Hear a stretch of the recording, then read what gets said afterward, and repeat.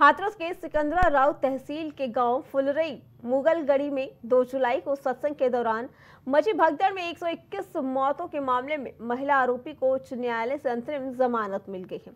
गौरतलब है कि इस मामले में पुलिस ने कुल 11 आरोपियों को गिरफ़्तार करके जेल भेजा था। इनमें से दो महिलाएँ शामिल थी। दो महीने से अधिक समय से आरोपी जेल में बंद है। सेशन कोर्ट में आरोपी महिला की ओर से पैरवी करने वाले वरिष्ठ अधिवक्ता प्रमोद कुमार शर्मा ने बताया कि मंजू देवी को हाई कोर्ट से जमानत मिल गई है और जल्द ही वो जेल से भी रिहा हो जाएँगी।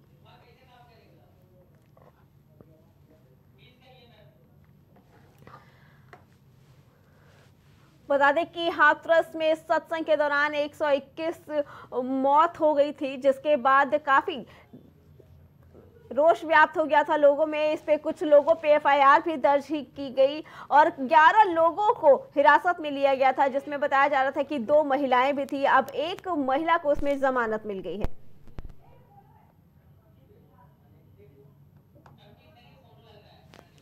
एक महिला को जमानत मिल गई है तो वही उनके वकील ने बोला है कि अब हाईकोर्ट से उन्हें जमानत मिल गई है और जल्द ही वो जेल से भी रिहा हो जाएँगे।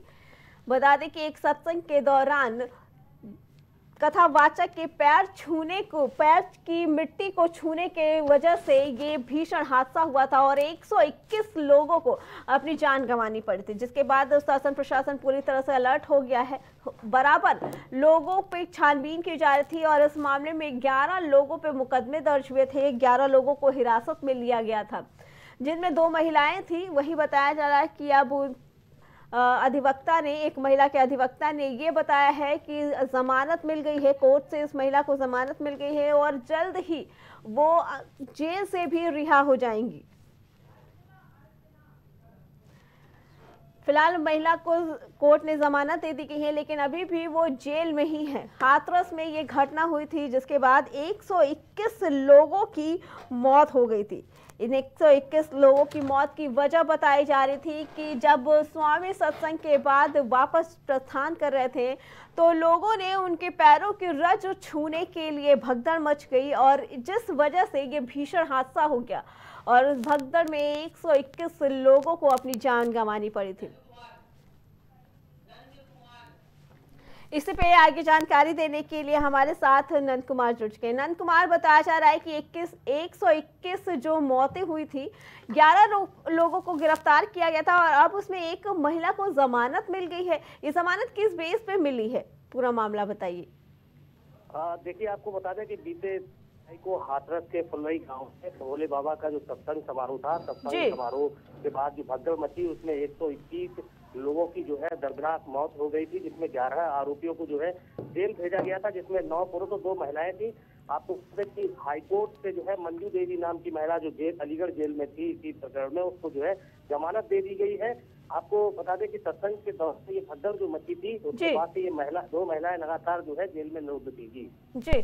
आखिर ये जो जमानत मिली है इन पे कौन कौन सी धाराएँ शामिल थी जिसकी वजह से इन्हें गिरफ़्तार किया गया था और अब उसमें इनको जमानत दे दी गई है कोर्ट द्वारा?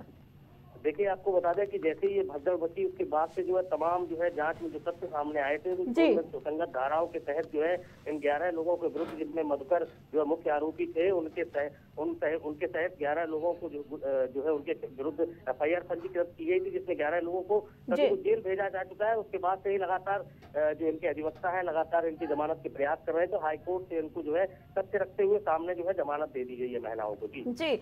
आनंद कुमार जी जैसा की बताया की अब उनका कहना है कि वो जेल से भी रिहा हो जाएँगी। तो क्या लगता है कि इनके ऊपर जो भी आरोप लगे हैं क्योंकि 121 मौतें थी जिसके बाद काफ़ी बवाल मचा था पूरे देश में।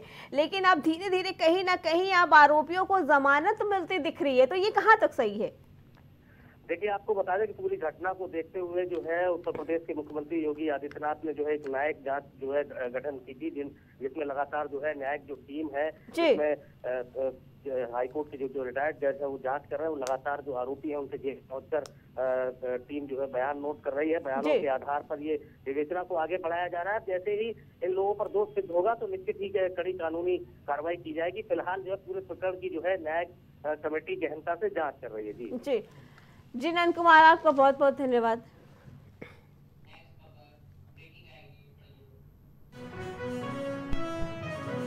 इस बीच लखनऊ से एक बड़ी खबर आ रही है। आपको बता दें कि प्राइम टीवी की खबर का असर देखने को मिला है। लोहिया के गेट से क्रेन हटा दी गई।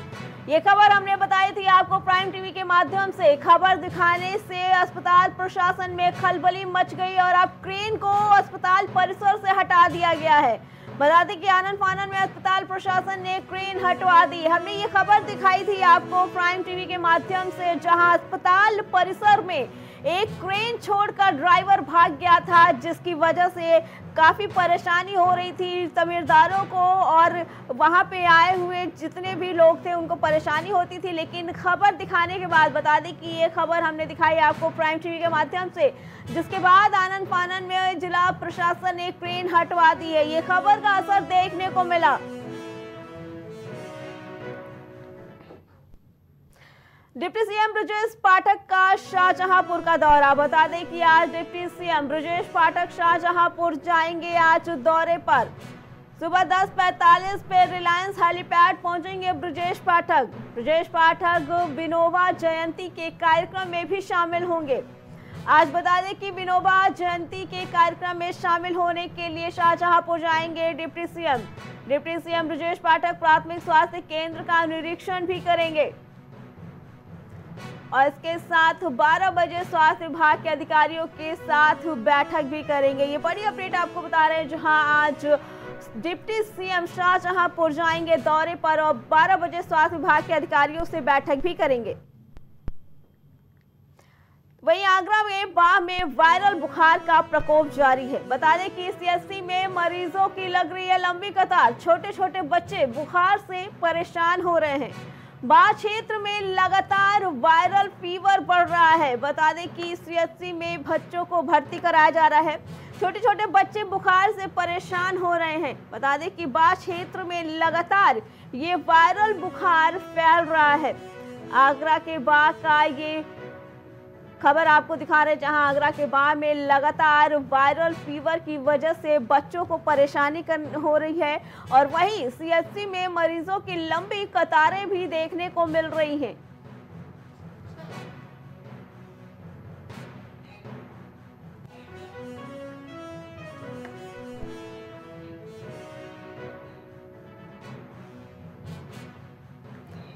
बता दें कि सीएससी में मरीजों की लंबी लंबी कतारें लग रही हैं। बच्चों को एडमिट कराने के लिए, उनकी दवाइयों के लिए, क्योंकि आगरा के बाह में। बता दें कि पूरे बाढ़ क्षेत्र में वायरल फीवर का प्रकोप बढ़ता जा रहा है, जिसकी वजह से छोटे छोटे मासूम बच्चे परेशान हो रहे हैं। आगरा में लगातार ये बीमारी फैल रही है। प्रशासन भी इसकी वजह से सख्ते में है। बता दें कि पुलिस प्रशासन और अस्पताल प्रशासन में हड़कम मचा है, जिसकी वजह से अस्पतालों में परिजनों की लंबी कतारें लग रही हैं। छोटे छोटे मासूम बच्चे इस बुखार की वजह से काफ़ी परेशान नज़र आ रहे हैं। स्वास्थ्य विभाग द्वारा भी इसकी जानकारी ली गई है। वहीं लखनऊ से बड़ी खबर आ रही है, आपको बता दें अवैध निर्माण पर एलडीए का बुलडोजर चला। बीकेटी और चिन्हट में ये बड़ी कार्रवाई की गई है एलडीए द्वारा, जहाँ बुलडोजर चलाया जा रहा है। गोमती नगर में भी अवैध निर्माण पर एलडीए द्वारा कार्रवाई की गई है। बता दें कि एलडीए बुलडोजर की कार्रवाई कर रहा है। एलडीए वीसी प्रथमेश कुमार के आदेश पर यह कार्रवाई की जा रही है। एलडीए जोन एक और पाँच की टीम ने ये कार्रवाई की है। बता दें, अवैध निर्माण पर बुलडोजर चलाया जा रहा है, जहाँ नौ से ज़्यादा अवैध निर्माणों पर एलडीए बुलडोजर चलवा रहा है। वहीं लखनऊ से बड़ी खबर आ रही है, आपको बता दें, यूपी पुलिस भर्ती परीक्षा की आंसर शीट आज जारी की जाएगी। यूपी पुलिस भर्ती प्रोन्नति बोर्ड जारी करेगा आंसर शीट। बड़ी अपडेट जहाँ यूपी पुलिस भर्ती बोर्ड की वेबसाइट पर आप अपने आंसर सीट देख सकते हैं। ये बड़ी अपडेट जहाँ 6,244 पदों पर पाँच चरणों में भर्ती हुई थी उसकी आज आंसर शीट आने वाली है। करीब 48 लाख अभ्यर्थियों ने यूपी पुलिस भर्ती परीक्षा दी थी। ये बड़ी अपडेट आपको बता रहे जहाँ यूपी पुलिस भर्ती परीक्षा की आज आंसर शीट जारी कर दी जाएगी। वही बदायूं से बड़ी अपडेट सियार को लोगों ने पीट पीट कर अधमरा कर दिया। भेड़िए के डर की वजह से लोगों ने सियार पर हमला किया। सियार के हमले से बढ़ रहे थे, जिसकी वजह से लोगों में भय व्याप्त था। वन विभाग की टीम ने सियार को अपने कब्जे में ले लिया। बता दें कि भेड़िए के आतंक से लोग परेशान थे और इस बीच ये खबर आई कि बदायूं में सियार के हमले हो रहे थे। और लोगों ने सियार को पीट पीट कर अधमरा कर दिया। भेड़िए की डर की वजह से लोगों ने सियार पर हमला किया। वहीं आपको बता दें कि सियार को अब वन विभाग की टीम ने अपने कब्जे में ले लिया है। इस वक्त की बड़ी खबर संभल से आ रही है। पत्रकार कपिल ठाकुर प्रकरण में डीआईजी से मिले पत्रकार। झोला छाप डॉक्टर के खिलाफ कार्रवाई कराने का आश्वासन दिया डीआईजी ने। वही जल्द कार्रवाई नहीं हुई तो सीएम आवास की ओर कूच करेंगे पत्रकारों ने, ऐसा कहा। डीआईजी से झोला छाप डॉक्टर ने पत्रकार को धमकी दी थी, जिसके बाद पत्रकारों में रोष व्याप्त हो गया था। पत्रकार के घर में घुसकर तोड़ फोड़ भी की गई थी, जिसके बाद आज डीआईजी से मिलने पहुँचे पत्रकार। हज़रत नगर गढ़ी थाना पुलिस ने कोई कार्रवाई नहीं की थी, जिसके बाद आज डीआईजी से मिलने के लिए पत्रकार पहुँचे। वहीं कुशीनगर से बड़ी खबर, पुलिस और पशु तस्करों के बीच मुठभेड़ का मामला सामने आया है। इस मुठभेड़ में दो पशु तस्कर घायल हो गए। बता दें कि पुलिस ने जवाबी कार्रवाई में फायरिंग की, जिसमें दो अवैध तमंचा, इन बदमाशों के पास से दो अवैध तमंचा, कारतूस और एक पिकअप बरामद किया गया है। तमकुही राज थाना क्षेत्र की ये घटना बताई जा रही है, जहाँ पुलिस और पशु तस्करों के बीच मुठभेड़ हुई और पुलिस की फायरिंग में दो पशु तस्करों को गोली लग गई, जो घायल हो गए।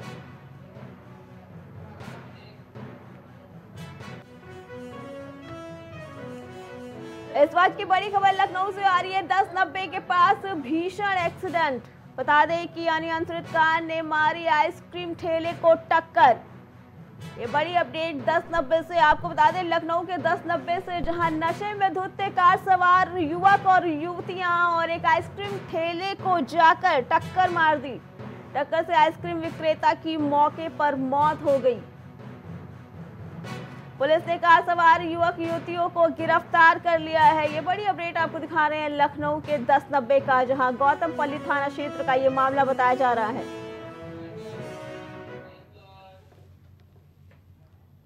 हर शहर, प्राइम रिपोर्टर में फ़िलहाल इतना ही। बाकी खबरों के लिए देखते रहे प्राइम टीवी।